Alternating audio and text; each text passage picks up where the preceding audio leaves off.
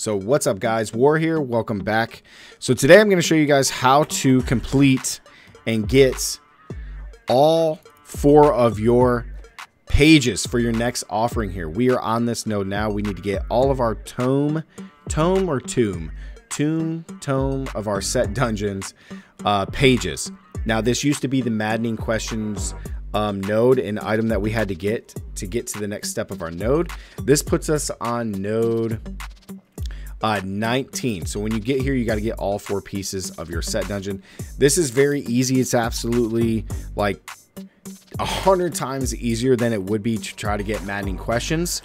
So the whole idea of this, guys, is to get the um, pages of your set gear for each class that you're going to do. So I have all of mine here. You can go look up and see what set that you actually need. Now, do note that any of the sets that you have here that are the Haedrig's Gift do not work. You cannot get a page for them, so you do need to farm out the rest of your sets. So I'm playing Demon Hunter right now, guys. So each page is correlate to each of the sets here, which we have for Shadow Mantle, Unhallowed Essence, Embodiment of the Marauder, and Natalia's Vengeance. Okay, so you would think, oh crap, man, I got to put all this stuff on, go wear it, and complete the set dungeon to the page. Uh, uh, uh, super, super easy. This is how you do it. So after you farm and get your set pieces, you don't have to wear a full six. You can wear five but if you have six, you can also wear that. So all you're to do is in Act 1, we're to go to Leoric's Manor. We're to go to the courtyard. We're to roll up in here. Okay. We're to go all the way upstairs, run from that scary ghost, and we're to go back to where our set dungeon page um, altar is. So let's kill this stuff and get through there.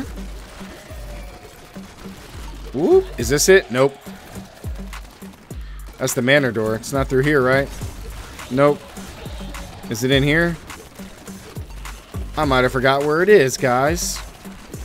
So you're going to go all the way into the back, back, back. We're going to find this thing. Oh, crap. It's not back here either, right? Dang, it's not outside? Darn it. I'm really bad at these mazes, man. So you go down here all the way to the room that has... It looks like Gandalf's been here in Minas Tirith just looking for stuff, man. For the One Ring. So you're going to come back here. You're going to come to the Tomb of the Set Dungeons. All right. But you need to have the items equipped. So what we're going to do is we're going to swap stuff out. We have five of the pieces with the Royal Ring of Grandeur. And then all we're going to do is click this. And we're going to get Tomb of the Set Dungeons, page 52. Okay. Boom. So then we have the first page. So then what we're going to do is we're going to equip our next set. Same thing. We have five pieces. Click. We got our next page, page 56. All right, same thing. Go down to Natalia's because we got five pieces, right? Click. Boom, page 60, man. Look at that. We only need one more, guys. So equip our last one. Bazinga. We have all four pages that you need and it's really that simple guys. I really thought that you know when they first brought this out that they were going to make you do the set dungeons which would just be a nightmare because some of them are really tough.